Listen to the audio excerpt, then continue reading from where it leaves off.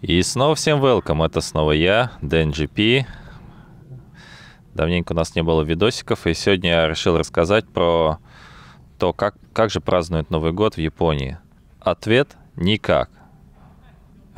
И на этом можно было бы закончить видео, но я немного расскажу более подробно о том, как же все-таки люди проводят новогодние праздники в Японии. Начнем с того, что э, Новый год в Японии, он дает несколько дней выходных. И там существует несколько э, видов праздников. Например, для начала японцы отмечают э, Рождество по католическому календарю, которое идет 24 на 25 декабря. И обычно они встречают ее со своей семьей, ну, то есть с тем, с кем они живут. После того, как они отметили, наступают новогодние праздники. Это примерно с 29-30 числа по там, 4-5 января.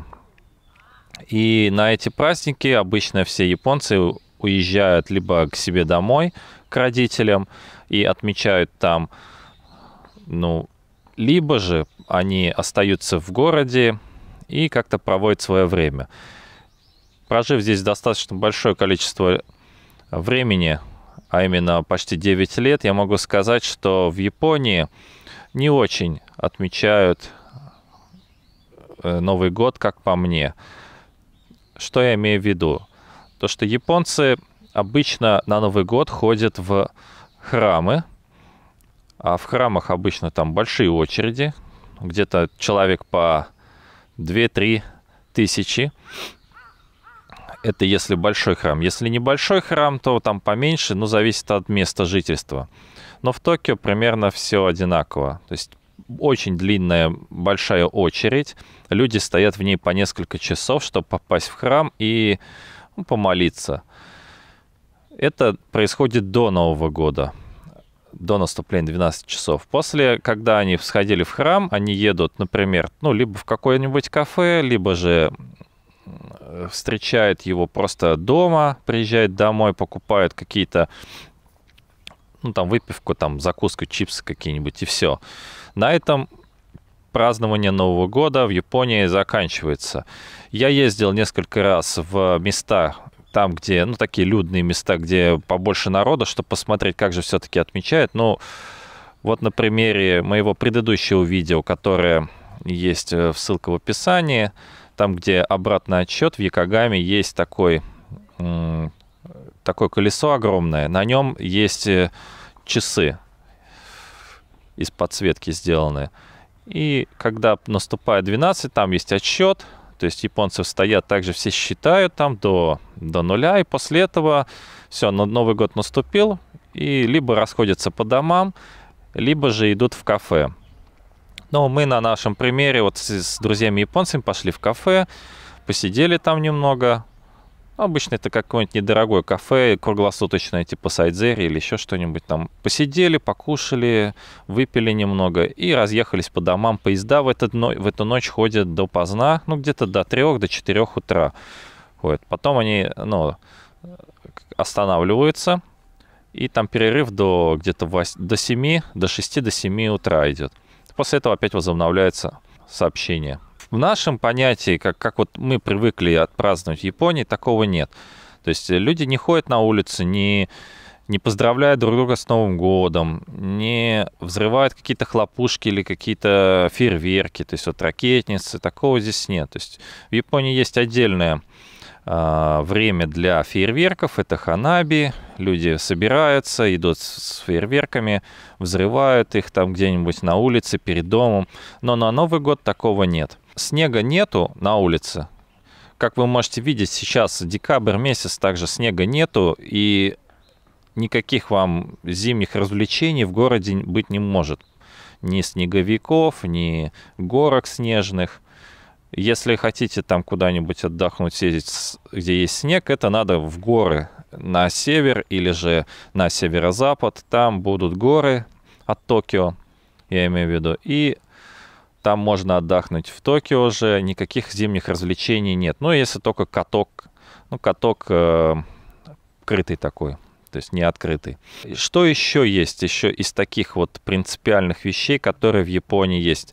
Также они любят встречать Новый год вот в кафе, как я уже говорил, посидеть.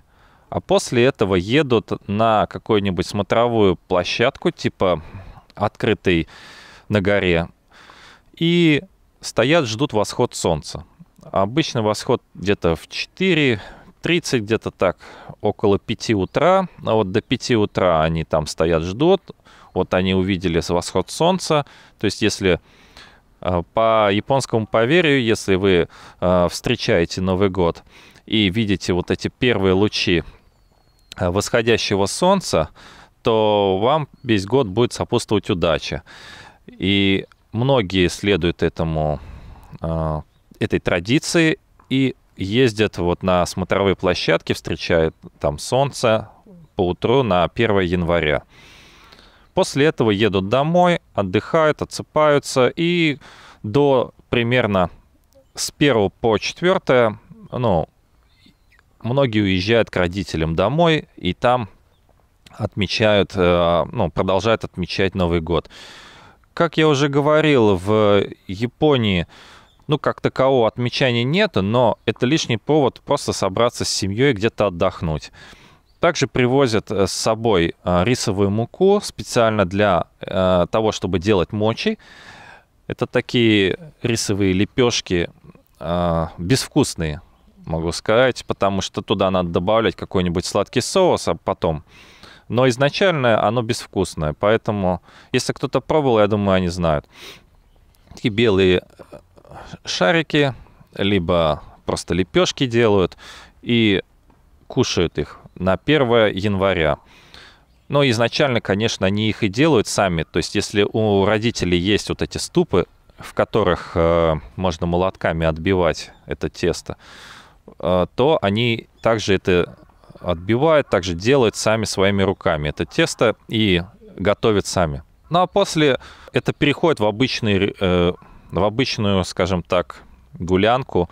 То есть люди просто собираются за столом, там какие-то закуски, э, выпивка, та же самая там саке, пиво, но обычно пиво. И, возможно, какой-нибудь, ну, может быть, это глинтвейн.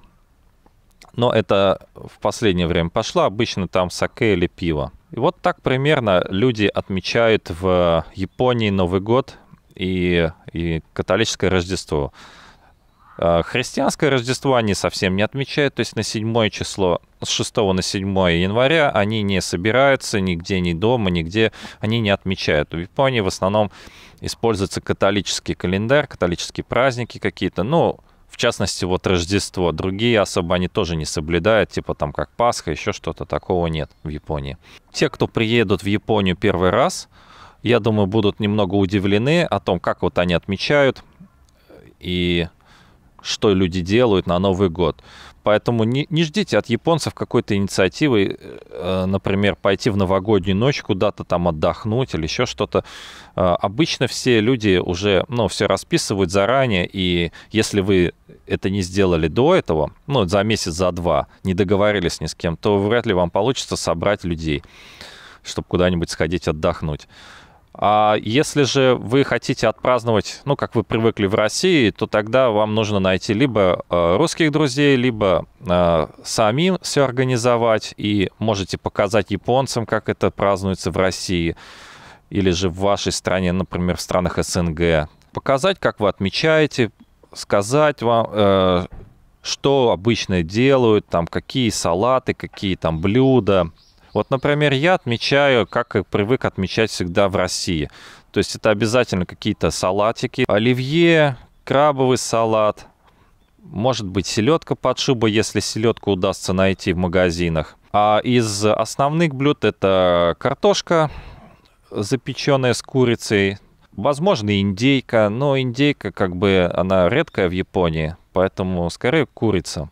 Либо, как вариант, если есть желание, то можно приготовить шашлыки недалеко от дома, в каком-нибудь там небольшом э, месте, где открытая площадка, например, у реки, или же, если у вас есть там пустырь какой-нибудь небольшой, то прямо на пустыре можно это сделать. также, если вы хотите отпраздновать Новый год, вы привыкли покупать шампанское, то в Японии, благо этого дела навалом, особенно в этих магазинах недорогих, типа Гёма Супа, там этого шампанского просто завались.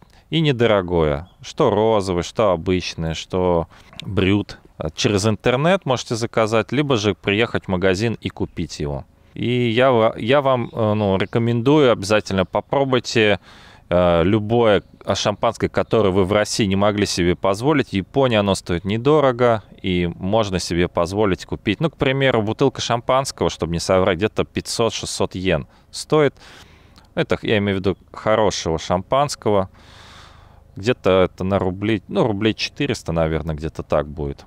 По японским меркам это недорого. В этом году это будет э, заключительное видео. А, следующие видео выйдут в следующем году. И хотелось бы поздравить всех с наступающим Новым годом и Рождеством. Пожелать вам здоровья, успехов, благополучия, много денег, чтобы у вас все получилось, что вы наметили, и вам всегда сопутствовал успех во всех ваших делах. И также надеюсь, что ситуация э, с, сами знаете чем, в мире изменится и, наконец, откроют границы, и мы сможем спокойно перемещаться и посещать родных, близких и встречаться с друзьями без всяких проблем. Самое главное – здоровье. И если вы будете здоровы, все остальное сможете себе позволить. При желании, усердии и целеустремленности. Ну вот и все, что я хотел сегодня вам рассказать. С вами был Дэн. Если вам понравилось, обязательно подписывайтесь, ставьте лайки, делитесь этим видео с друзьями и нажимайте на колокольчик, чтобы не пропустить новые видео о Японии. Ну а с вами был Дэн. До новых встреч. Счастливого Рождества и Нового года. И увидимся с вами в следующем году. Все. До связи.